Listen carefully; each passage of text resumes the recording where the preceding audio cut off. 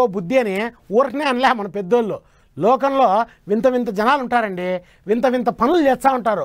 ఆ మధ్యన ఓ మగానుభావుడు నీటి అడుగున ఓ ఇల్లు కట్టుకొని అందులో మూడు నెలలు గడిపినాడంట. ఇంకో వ్యక్తి పదిహేడేళ్ళ నుంచి అడవిలో గుడి చేసుకొని బతుకుతున్నాడు.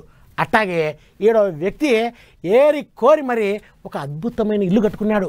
ఒక్కసారి ఆ ఇంటి కథ ఏందో చూసొద్దాం పదండి. అగో కనిపిస్తాందా?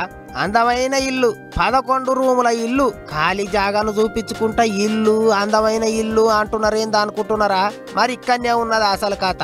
మేము చెప్పే ఇల్లు భూమి మీద లేదు భూమి కింద ఉన్నది. అగ చూడరి ఇగురం కల్లా ఇరుపానన్న గూట్లే గువ్వ లెక్క ఎట్లా ఊకున్నాడో? ఇల్లు కట్టుకోవాలి గాని అందరి లెక్క కాదు ఇచ్చంతరంగా కట్టుకోవాలి.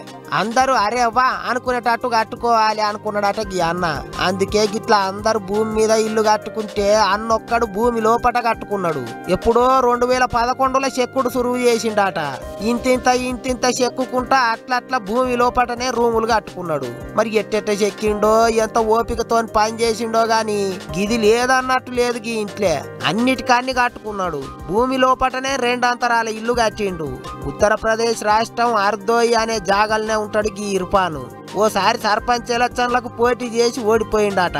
అంతల్నే తండ్రి జీవిడిచిండాట ఆ బాధ ఈ బాధ కలిసి తిక్కలేసినట్టు అయ్యి ఏం చేయాలనో తెలియక ఓ చిన్న పార తీసుకొని తా గుడిసి రువు చేసిండట. అట్లా పన్నెండేండ్లు ఒక్కటే చెక్కుడు చెక్కి చెక్కి శిల్పం తయారు చేసినట్టు చెక్కి చెక్కి ఇల్లు తయారు చేసిండు. ఓ ఇటుకే లేదు ఓ గంప సిమిటి లేదు చీకులు అంతకన్నా లేవు. చిన్న పారతోని భూమి లోపల గింత పెద్ద ఇల్లు కట్టిండు అందుకే ఇప్పుడు పరిశానాయి చూస్తున్నారు పబ్లిక్. భూమి లోపటికి పోయి ఇల్లు చూడనికే మస్తు మంది ఎగబడుతున్నారట అంత మంచిగానే ఉన్నది గాని వానలు వాడి వరదలు వస్తే భూమి మీద ఉన్న ఇండ్లే మునుగుతున్నాయి.